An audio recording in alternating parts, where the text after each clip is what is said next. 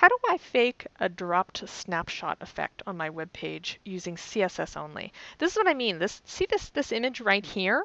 Um, it sort of looks like it's got this white border, so it kind of looks like one of those old-fashioned snapshots. And behind it, there's this drop shadow, so it kind of looks like you've just sort of dropped this photo onto your page. Um, how do I do this using CSS only? Um, you might know how to do it in Photoshop actually. You could create a, you know, you could import this image into Photoshop and you could add a border and then you could add a drop shadow and make it a, have a transparent background and blah, blah, blah, blah, blah. And that's fine. There's nothing wrong with doing that. But did you know you can actually do this in CSS? And let me show you how. Um, let's actually, there's a few things we need to do. Let's kind of approach this step by step. The first thing we need to do if we look at, this is what we're starting with. We just have this plain image right here and just see that's actually still the same image.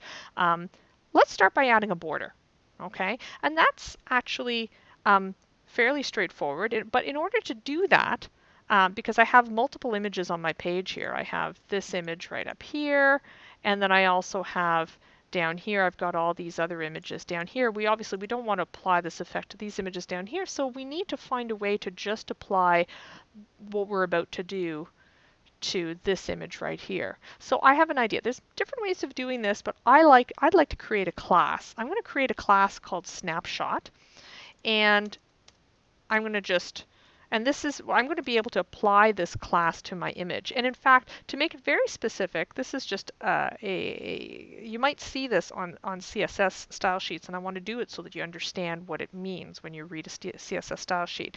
I'm going to put the HTML selector image right here, and then I'm going to go period right after, and then I'm going to write snapshot. And what this is, is that I'm creating a class that is specific to the image selectors on my uh, on on my my my in my HTML page. Um, does that make sense? Um, it's not going to apply to every single image, but it's going to be a class that I can use on images. I hope that that makes sense.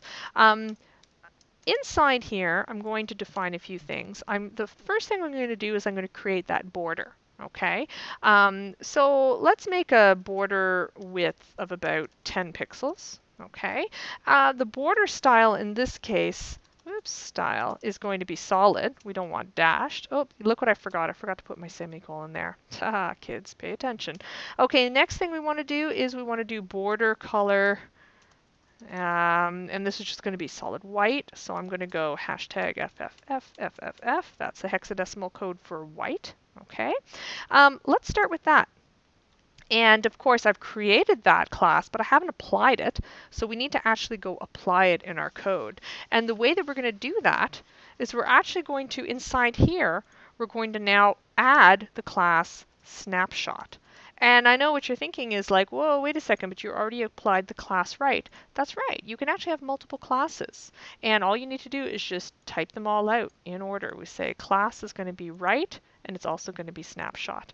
So let's hit save. And let's hit reload here. And what we expect to see is we expect to see a white 10 pixel border all the way around this image. Let's see if that's, that's what happens. There we go. That's exactly what happens. So we're part of the way there. We've added the border.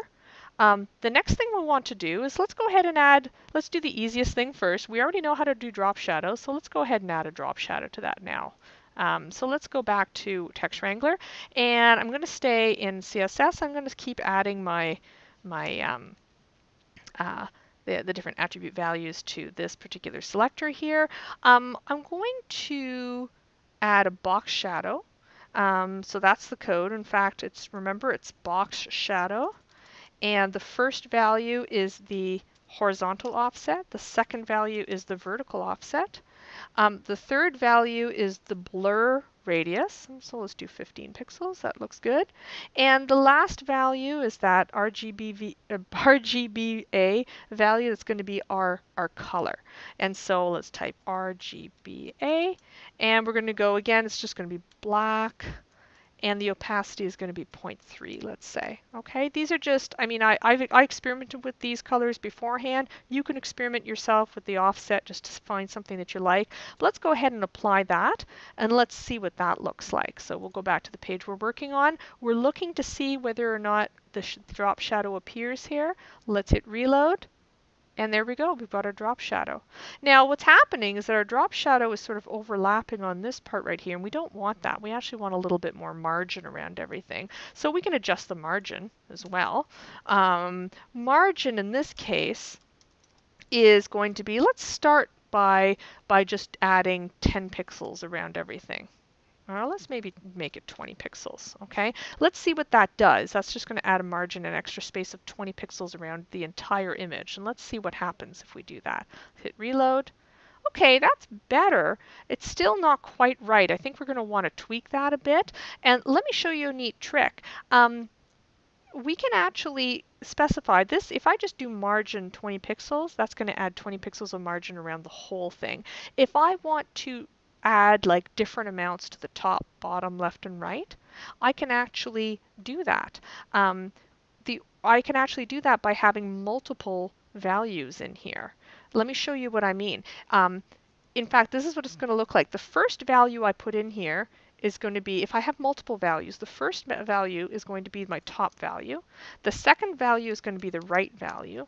The third value is going to be the bottom value. And the, the fourth value is going to be the left-hand side value. So when you're, think, when you're remembering it, just start at the top and think of a clock, okay? You go clockwise or clock, clockwise around the image. So the first value is up here, second value is here, third value is here, and fourth value is there. That's if you have four values, then the browser then considers it to be top, right, left, bottom, right. Sorry, oh my goodness. Top, right, bottom, left. Yes, there we go. Okay, I do know what I'm doing, trust me. Um, and so let's go ahead and do that. Let's actually say the top one I'm going to make 10 pixels. The right hand side I'm going to go I'm going to stick with 20 pixels. Uh, the left hands or the bottom, I'm going to do uh, 40 pixels. I really want to put a little bit more space between, you know, here and down here. Um, and then the final one here, we're going to do 30 pixels. Okay, so see what happens? When I just had the one, it applied it all the way around. But if I go ahead and type out 4, then the browser is pretty smart and realizes, oh, you mean top, right, bottom, left. Let's hit save and let's see what that looks like. So this will probably shift around a little bit more. There we go. So now it seems a bit more centered in there. We're very close. The only difference now, in fact, look how close that is. I'm going between the two and we don't even see a difference. That's how good we got. Wow, that's awesome. Um, now we need to tilt that. We need to tilt this image. And this is a neat trick. This is using CSS3. Um, I want to give you a warning here. What we're about to do currently, as of today, is not going to validate in your validator. Okay? That's all right. Okay, the reason for that, and I'll explain, uh, I'll, I'll explain it as I go here. We're going to go in here and I'm going to introduce the concept of vendor prefixes. Okay, um, what is a vendor prefix? A vendor prefix is a little kind of piece of code that you add in front of an attribute in CSS that makes it so that specific uh, web browsers will understand it. Okay, and these codes correspond to the reason they're called vendor prefixes is that they, there's different prefixes for different web browsers. Um, and the different ones are there's the dash Moz prefix, okay? There's also the dash WebKit prefix. There's the dash O prefix, and there's the dash MS, oops, MS prefix. And um, Moz is for Firefox. WebKit is for Chrome and Safari. Uh, o, o is for Opera. And MS is for Internet Explorer. Um, so let's just set that aside for now. I want to show you the actual code, the actual attribute. Um, the actual attribute is called transform rotate. Okay, and then we actually have to put a little, we have to specify, well, let's just do minus 5 degrees. Ah, let's spell that right. Oh, what did I do? I forgot to put the 5 in there. Okay, transform rotate minus 5 degrees. Okay, what that's going to do is that's going to rotate my element 5 degrees kind of counterclockwise. That's what that minus is. Um, this will eventually work. This is kind of this is a CSS3 thing. The problem is is that none of the web browsers currently sort of support this as is. You need to put these vendor prefixes in front. So you need to do it this way. You need to actually have this vendor prefix in front and then put transform rotate. So I'm going to do that for each of those. So unfortunately it means a little bit of cutting and pasting. Um, but that's that's what happens when you're, you're using sort of bleeding edge code. Um, the reason that this won't validate, okay, is that the, the web validator doesn't um, recognize vendor prefixes as being valid code, okay?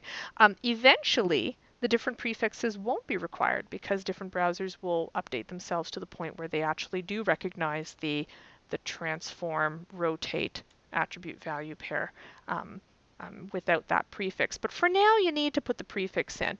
Um, don't panic if your code doesn't validate. If that's the only part of your code that doesn't validate, then you're fine. Okay, remember the validator is just a tool. It's a tool for you to understand. If you understand why your code isn't validating and you're okay with that, that's fine. Okay, um, it, it, you know that's that's just the way it is. So let's see if this works, okay? So we've added these different codes, and this would be a good use if you wanted to just put a little note to yourself here why you put this. You could say for, say, um, for Firefox, you could do that, okay? And then you could add that to, you know, for Chrome and uh, Safari, like that. Um, you could do that for all of those if you wanted to, and that would just be a nice little reminder to yourself. Okay, I won't bother writing all of them, but you can see that.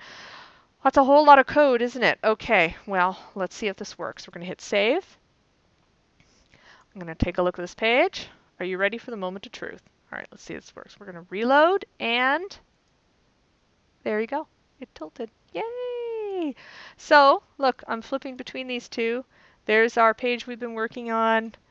There's our original page we were trying to build.